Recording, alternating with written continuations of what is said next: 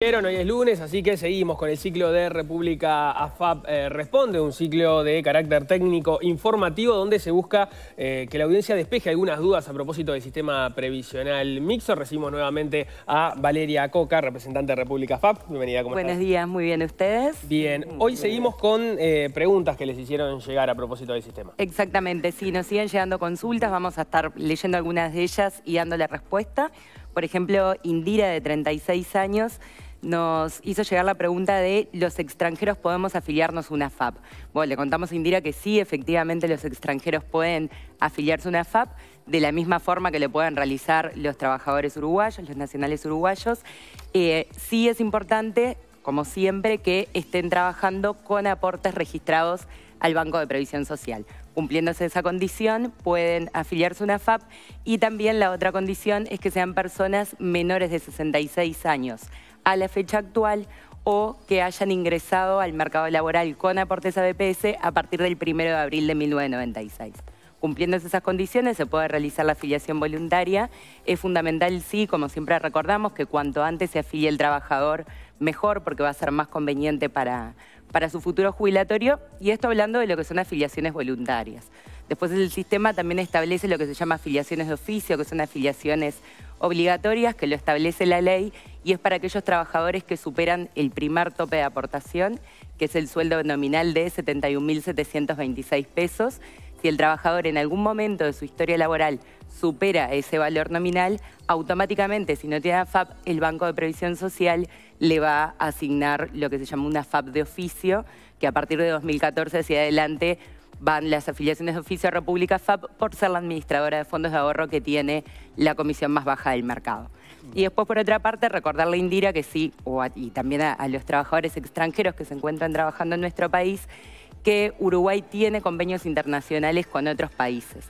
Es decir, que si están trabajando aquí y proceden de un país que tiene convenio internacional con nosotros, luego al momento de jubilarse van a poder reconocer los años aportados en Uruguay con los años aportados en su país de origen, siempre y cuando se cumpla la condición de que no sean años trabajados en simultáneo. Ese trámite se realiza al momento de jubilarse y bueno, por supuesto es un beneficio para el trabajador. Bien, ¿alguna pregunta más que les haya llegado? Sí, exacto. Ricardo, 45 años, nos pregunta eh, los trabajadores que aportamos a la FAP.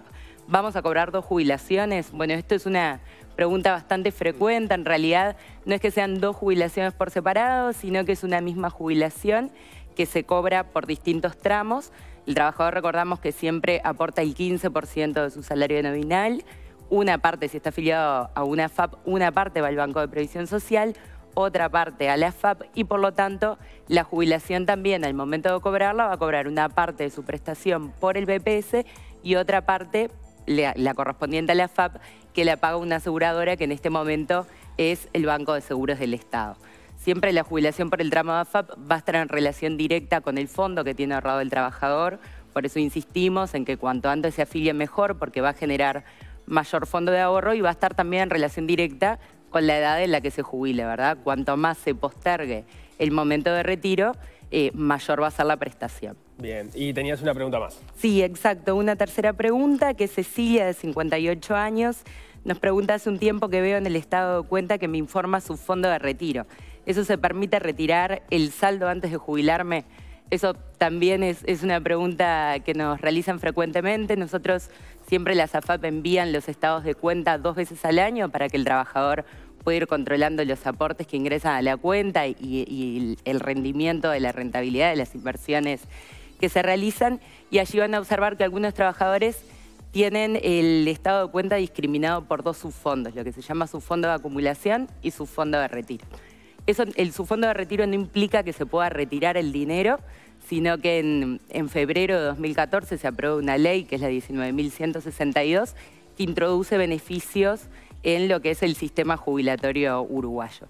Uno de esos beneficios es la creación de un nuevo subfondo, que se llama subfondo de retiro, que lo que hace es conservar, eh, decir, hacer inversiones más conservadoras, ¿sí? que tienen menos eh, vulnerabilidad lo que son las fluctuaciones del mercado, justamente para asegurar el dinero de los trabajadores más cercanos al momento de retiro.